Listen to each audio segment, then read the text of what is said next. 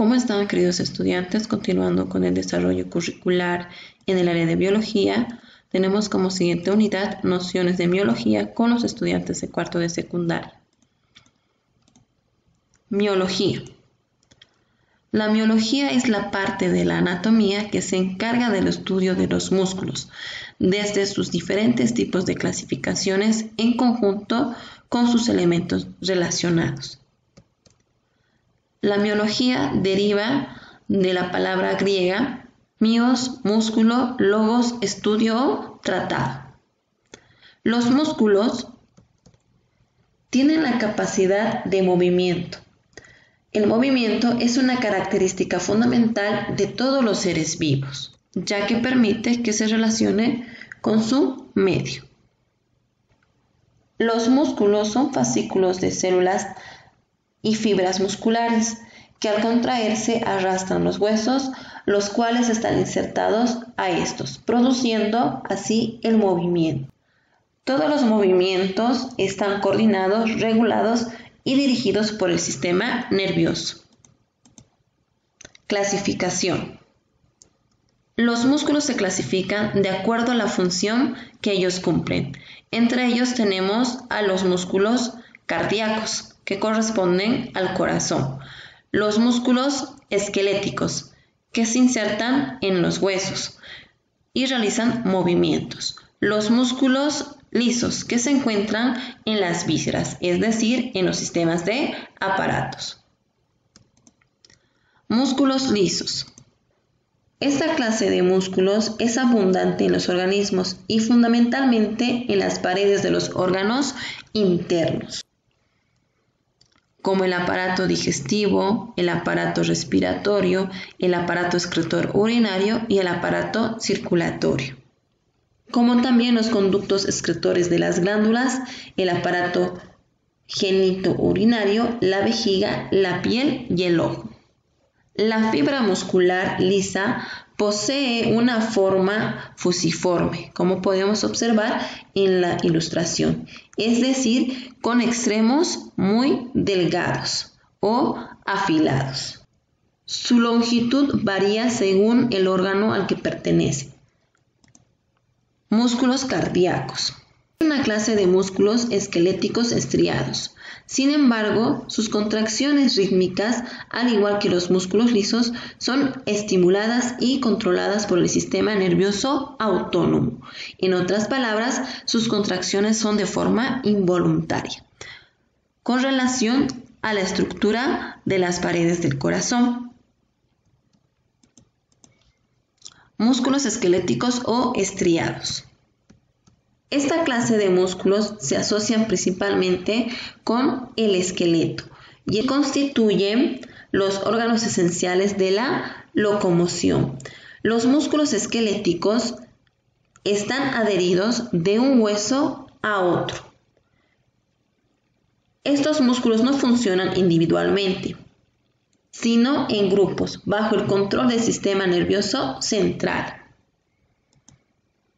Estructura de músculo estriado. Los músculos estriados o esqueléticos son muy variados en cuanto a su tamaño, forma. Están constituidos principalmente por dos partes. La región blanca, que es resistente y no contráctil. Es en sí la representación del tendón con reflejo al músculo estriado. Estas están constituidas por fibras o células alargadas, que son células polinucleadas. La aponeurosis son membranas de tejido conectivo que envuelven los músculos de manera de vaina tienen por objetivo impedir que los músculos se desplacen lateralmente cuando se contraen, es decir, cuando realicen algún movimiento. Los tendones son cuerdas blanquísimas de tejido conjuntivo fibroso que prolongan las extremidades de los músculos permitiendo la inserción en los elementos fijos. Ácido láctico El ácido láctico, a consecuencia de la fatiga muscular, se produce en el músculo el acúmulo de una sustancia resultante de los procesos bioquímicos, que tiene lugar durante la contracción denominada ácido láctico. El músculo fatigado, como reflejo del ácido láctico, es cristalizado en finas agujas. Mientras permanece sin disolverse, provoca la sensación dolorosa conocida como marcurca. Nomenclatura muscular. Según su forma. Los músculos se clasifican de acuerdo a su forma. Músculos largos donde predomina la longitud, donde se unen en sus extremos con varios tendones. Los músculos planos, que forman unas láminas, por ejemplo, el recto del abdomen. Músculos orbiculares. Se clasifican por la forma circular que presentan y forman específicamente los músculos orbiculares del ojo y los músculos orbiculares de los labios. Los músculos en forma de abanico que tienen la forma de una plancha como los músculos del pectoral. Los músculos esfínteres. Estos músculos tienen la forma de un anillo que cierra los órganos como el ano y la uretra, según la función que cumplen. Flexores y extensores. Flexionan o extienden dos partes del cuerpo unidas por una articulación pronadores y supinadores, encargados de girar una extremidad de un sentido o en otro. Abductores y aductores. Alejan o acercan las partes móviles hacia el eje corporal. Elevadores y depresores. Sirven para levantar o bajar una zona del cuerpo. Esfínteres y dilatadores. Cierran o abren un orificio corporal. Músculos masticadores. Los músculos masticadores son los que mueven el maxilar inferior durante la masticación. Entre ellos se encuentran los músculos maceteros, que se englosa a la mandíbula inferior, y los músculos temporales, como también los músculos pterigoides externo e interno.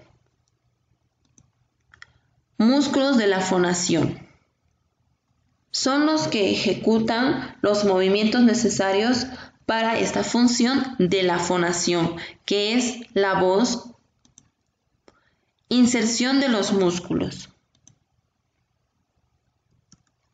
Los músculos se fijan en sus extremidades, ya sean superiores o inferiores, a través de unos puntos de inserción que terminan en unos tendones para que los huesos puedan realizar algún movimiento a través de esta inserción. La inserción representa la unión distal, especialmente de las extremidades inferiores o superiores, que son las estructuras óseas que realizan mayor movilidad junto con los tipos de articulaciones y como complemento la unión de los músculos. Muy bien, queridos estudiantes, espero que esté comprendido el tema. Se enviará actividades de refuerzo. Que tengan un buen día.